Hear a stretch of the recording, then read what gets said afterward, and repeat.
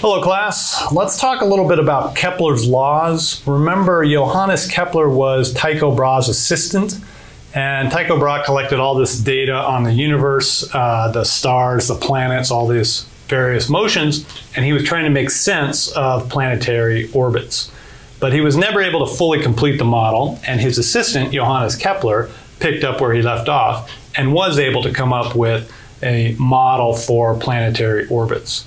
And so the three laws that he came up with, we now know them as Kepler's laws, are the following. The first is that orbits are elliptical.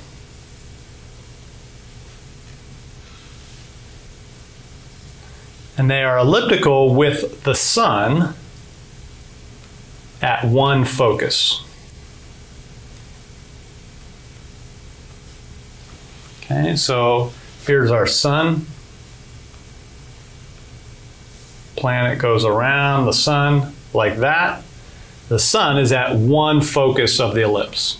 Okay, and an ellipse has two foci. There's one there and there's one on the other side by symmetry. The sun is at one of those foci. All right, this is a big step because earlier uh, Tycho Brahe and other people thought that they were circular orbits. And the reason they thought they were circular orbits is because when you look at the orbit of the Earth around the sun, it is nearly circular. Okay? But other planets have much more eccentric orbits. All right, the second law that he came up with was, and let's draw our planet on there, heading around. The second law was the following equal areas in equal times. Okay, so what does that mean on our picture here? What it means is as this planet sweeps out this ellipse about the sun, if I take a stopwatch and I measure how far it moves in some amount of time, and then I shade that area, I would get some number. But if I take the stopwatch and I do the same amount of time at the far end of its elliptical orbit, and I map out that area, I get the exact same number. Equal areas and equal times. So if this is one month of an orbit, you get some number. One month of an orbit, you get the same number. This necessarily tells you that the planet is moving slowest out here in order to get the same area as this region where it is moving fastest. Okay, planet kind of zips in towards the sun, goes back out, slows down a whole bunch, and then comes and does it again. And this is sort of like the slingshot that you guys have heard, the gravitational slingshot right? When an object goes past a massive object, it is moving fastest when it's closest to it, and then it shoots back out. All right, the third law that Kepler came up with, which is a little bit more difficult to see, is the following. The period squared is proportional to the semi-major axis cubed. Okay, in words, that's what it is. In math, it looks like that. t squared is proportional to a cubed. t is the period. So for the Earth, the period would be one year. What is this semi-major axis cubed? Well, if I take my ellipse and I draw the bisector of that ellipse, then this is the semi-major axis. The major axis is the entire length of the ellipse. The semi-major is half of that. Okay? So he found that the period squared was proportional to the semi-major axis cubed, which was a huge step in understanding the motion of the planets.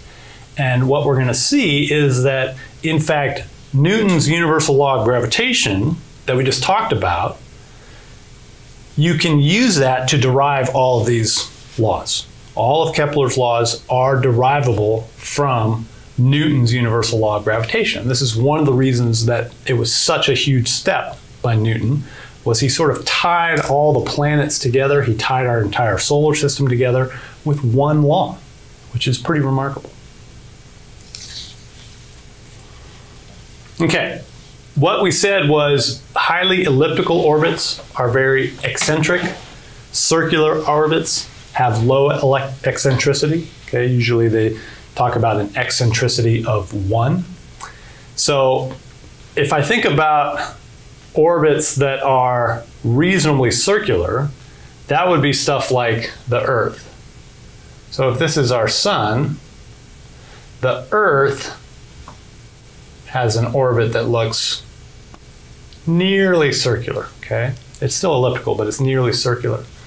Whereas Halley's Comet comes in very steep and shoots way back out.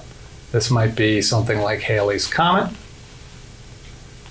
And Halley's Comet has a long period, right? If that semi-major axis is big, it has to have a very long period. And we know what that is. T for the Earth is one year. But T for Halley's Comet, what's the period of Halley's Comet? It is about 76 years. Okay, so we're going to see it again in 2060. You guys will likely be around to take a look for Halley's Comet in 2060 something. And uh, definitely try to catch that with your telescope if you're around. It's a, it's a really nice sight to see. I saw it back in the 80s. And in fact, my grandfather, who was alive at the time, he looked at it with me when Halley's Comet came by. And he said, Oh, yeah, there it is again. And I said, What? He goes, Yeah, I saw it when I was eight years old, standing in the fields in Montana. I just looked up and there it was. And now it is 76 years later, it's here again. So kind of rare that you would get to see it twice in your lifetime, but it happens. Okay, let's see how Kepler's third law is derivable from what Newton said. Okay? So, Newton said the following the force of gravity, the magnitude of it, is g m1 m2 over r squared. Any two masses are gravitationally attracted together by that magnitude. Okay, usually we put a minus sign in front of it, but this just means it's attracted. So let's take the let's take the example of a planet orbiting the sun, and let's put it in a circular orbit. So the sun has mass m sub s, the planet has mass m sub p, and now this thing's going to go about the sun in a circular orbit. And it's a distance r from the sun. What do we know? What we know is there has to be a force on that planet to keep it moving in a circle. That force is just gravity. And so it's g mass of the sun, mass of the planet, divided by r squared. But we know if this thing is moving in a circle, those forces don't add up to zero. They add up to something else. What do they add up to? mv squared over r. Okay, and the m in this case is the mass of the planet. All right, that looks pretty good, but we don't know exactly what v is. Right? v is the speed of this thing, but what we do know is that if it goes all the way around, it goes a distance 2 pi r. And if it goes all the way around in an amount of time t, then that speed is just 2 pi r over t, distance over time. And that thing we got a square, and we still have an r in the bottom. Okay, and now we can simplify this quite a bit. What do we get? We've got g m sub s m sub p over r squared equals, let's multiply this stuff out.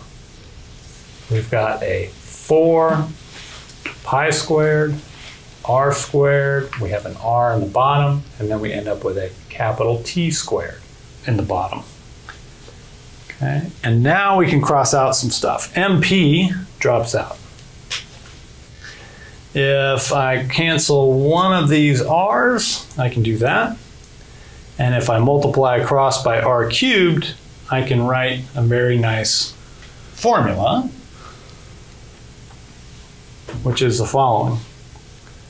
t squared, let's multiply t squared up over there, equals 4 pi squared divided by g m sub s.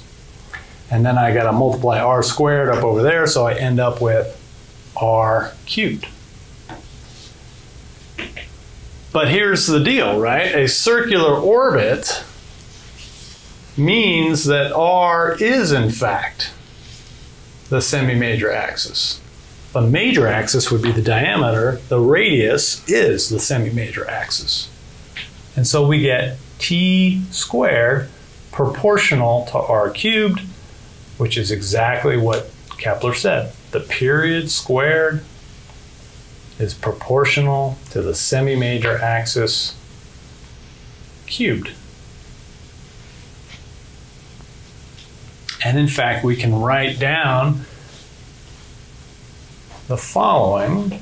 It's equal to k sub s times a cubed, where k sub s is called the Kepler constant, and it has a value of 4 pi squared divided by g m sub s. This is Kepler's constant.